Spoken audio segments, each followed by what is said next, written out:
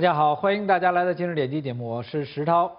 我记得呢，呃，作为习近平上来之后，一个月就是砍掉大概二，现在对头算二十多个正局级、正局级副呃副局级，呃，干掉了一个副部级、副省部级，呃，这是我们现在看到的，也判了俩人，这是也是看到的，而基础都是透过网络，那网络最能拢民意。那另外一个现象就是政法委彻底完蛋。这是我们所有看到。那天我节目跟大家说，我说你看，姓孟的到现在梦不出来了吧？还在家做梦呢。哎，第二天挺应景儿，说孟建柱说话，我一看我就觉得挺逗哏儿。整个政法委系统其实现在基本上就完蛋了。谁在政法委系统原来的那个那个班子，呃，现在相相应来讲一定很难办。这个我相信朋友能够能够感触到。那在这个背景之下，我们跟大家讲说，到底目标在哪儿呢？而另外一个概念就是挺有意思，就是这个王岐山。那王岐山呢，我们注意到呢，就是刚刚昨天应该是到美国去，戴个礼帽，戴个墨镜，哥们做团长，啊，去谈有关中美之间的金融问题。那大家知道，他他到了政治局常委里面，他是管这个反腐的。那政治政治局常委当中第一常任这个副总理的话，应该是张高丽。哎，没张高丽什么事儿，哎，他去谈这个，大家品吧。我跟您说，这有意思，这事儿没完。那王岐山的所作所为呢，跟他在几次政治局常委亮相，他跟别人不一样的时候呢，这里头有暗语。你可以这么说，你可以这么说，对吧？但是也有人说呢，呃，王岐山是是不是跟习近平俩人呢，唱唱着对，就是大家一块唱这这出戏。包括矛头冲向他现在的政治局常委的人马，呃，很有可能啊，因为因为现在习近平说了算，网上出了最新的一条消息，呃，《征明》杂志登出来，直接矛头冲向江泽民。文章题目这么说的：江泽民涉及一兆两千亿金融贪腐大案，中共证券史上第一大案。根据北京高层的人士透露，中共中纪委。正在追查中国证券史上有史以来第一大案，呃，涉案金额高达一点二万亿人民币的招股权证案，那直接将江泽民、贾庆黎、黄菊、江泽民的儿子江绵恒、外甥吴志明等卷入其中。香港证明杂志呃披露说，国际结算银行二零零二年。十二月发现一笔二十多亿美金的巨额中国外流资金无人认领。那之后，刘金宝在狱中爆料，这笔钱是江泽民在十六大之前夕为自己准备后路而转移出去的。刘金宝还担任过中国银行上海分行行长。这件事情我们早说过，但但是在胡温时代无法解决。证明杂志在报道当中接着讲说。薄熙来案至少涉及到江泽民的间接责任，已经是中共高层毫无掩饰的事实。目前，薄熙来案接触的行贿线索已经直接指向江泽民的家人，那包括江系的四大要员周永康、曾庆红、李兰清、曾培炎，那尽数卷入收受薄熙来聚会的传言。薄熙来案的刑事判决。已经成为江泽民最大的心病。我这里还得跟大家提醒一下，他点的这四大要员当中，有三个在今年九月二十二号陪着江泽民到大戏院看戏去。所以有些是真的，有些是假的，有些是有来头，有些是有原因的。但是大家想想，曾经把中华人民共和国、把老百姓玩弄于手掌之中的这些人。今天，为了他们的能够保命，为了他们之间的权斗，大家已经玩到这份上，而这一切的所作所为，将给他生命真实的那一面，他的灵魂，下了十八层地狱，打定了坚实的基础。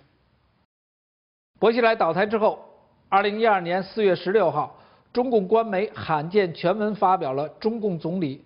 温家宝在国务院第五次廉政工作会议上的讲话，当时暗示要追究一批被掩盖的贪腐大案。四月十六号开的会，三月十四号，温家宝踹死的踹死了这个薄熙来，他靠自己的概念。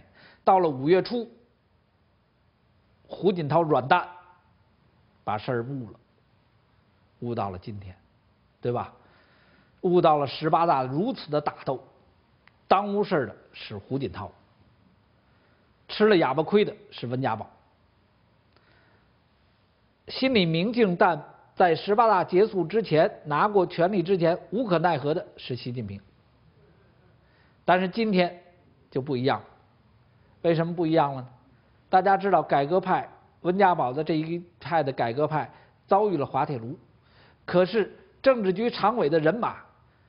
对于习近平来讲，我跟你说，噎老了苦了，心里恨死了，所以就出了另外一件事情。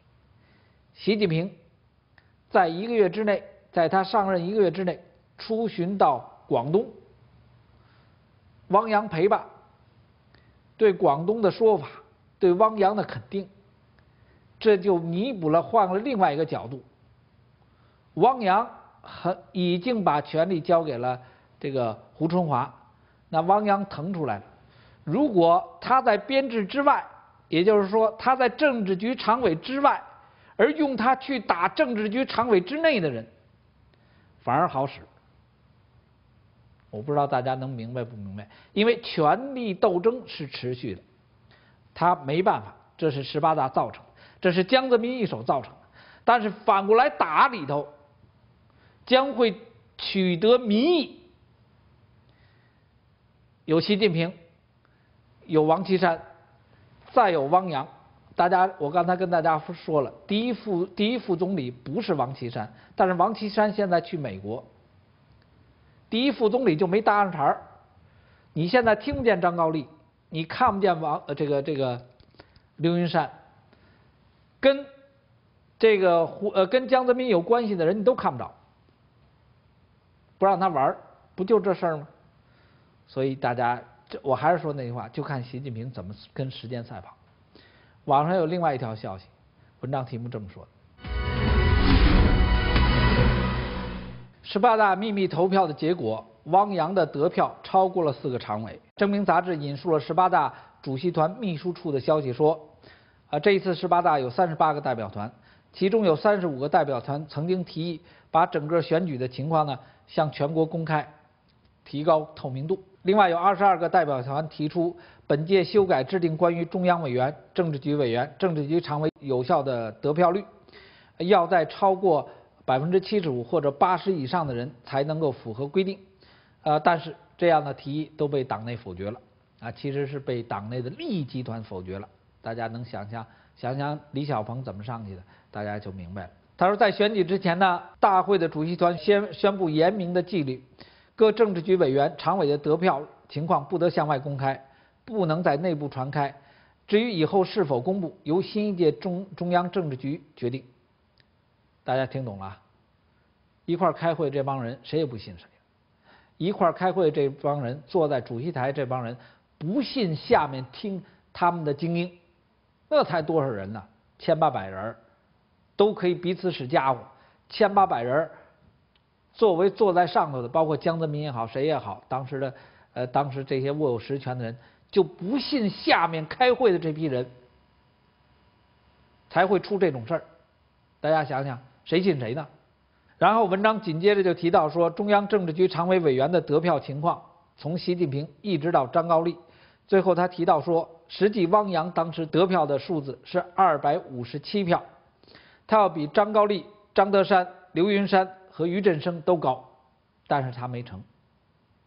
这个时候，习近平用汪洋就有民意基础，在他的中央委员当中就有民意的基础。我曾经跟大家分享过，政治局常委出来了，看起来江泽民得胜了，实际是江泽民和曾庆红把自己的底牌所有东西全亮了相了，而这亮相的结果，造成会造成习近平跟他绝对的分裂。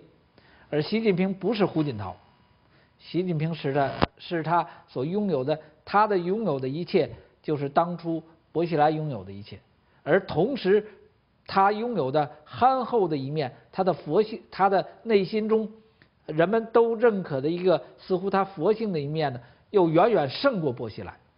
薄熙来极其奸诈狠毒，让人们对他多少都有戒心，而对习近平不是。在他个人的人性的这一面，他个人的品质这一面，再加上他相对又很比较办事很干净利索的那一面，就我们说这个吃饱撑的关你什么事儿？这一句话透露出他内心做事的性格。